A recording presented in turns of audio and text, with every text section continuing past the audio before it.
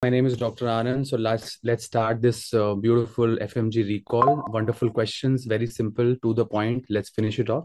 So number one, very importantly in the FMG recall, the first question we had over here is a preterm baby with the complaints of breathing difficulty and chest X-ray is shown below.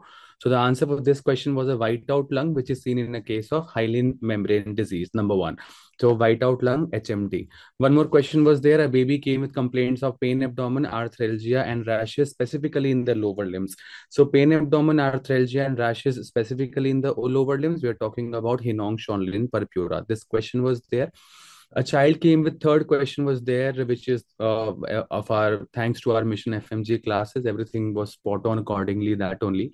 A child came with complaints of bluish spot on the buccal mucosa. So the answer for this question was measles. So measles has cough coryza conjunctivitis and bluish uh, spot on the buccal mucosa. This was an interesting question actually.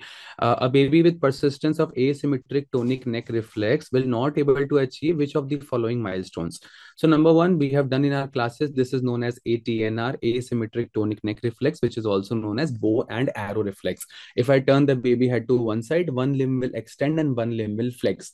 So normally what happens atnr disappears by six months and why? Nature is uh, uh, you know causing disappearing of atnr by six months because so that the baby can roll over. So rollover starts to come by six months and ATNR disappears by six months. So that is why if persistence of ATNR is there, the child will not be able to roll over. छह महीने के बाद ये reflex खत्म हो जाता है और बच्चा अपने आप रोल करता है। तो छह महीने के बच्चे को अगर आप एक तरफ़ टर्न करोगे तो वो बो एंड एरो शो नहीं करेगा, वो चुपचाप रोल ओवर करेगा। तो that is why this is the answer next question doctor is a bypass channel which passes the liver and continues as what very interesting question we have done that in foetal circulation ductus venosus is a bypass channel definitely yes we know which passes the liver which basically bypass the liver and continues as what so ductus venosus we all know it continues as inferior vena cava, and we have done that in our fetal circulation chapter a child with cyanosis and clubbing and chest x-ray shown below.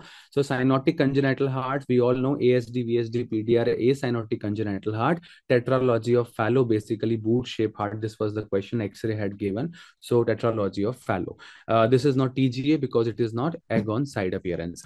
One student has told me Kartik Dua has told that VSD पे question आया था और पूछा था कि कौन सा मरमर होता है? सो एग्जैक्ट क्वेश्चन तो I don't know but they were child with recurrent cough and cold and acyanotic congenital heart suggesting a VSD which of the following murmur is seen so VSD will have a pansystolic murmur and PDA will have a machinery murmur this question was spot on was there baby with rashes with pleomorphic rash pleomorphic rash means all the stages of rashes are present at the same time the answer is chickenpox we have done that in our classes very beautifully.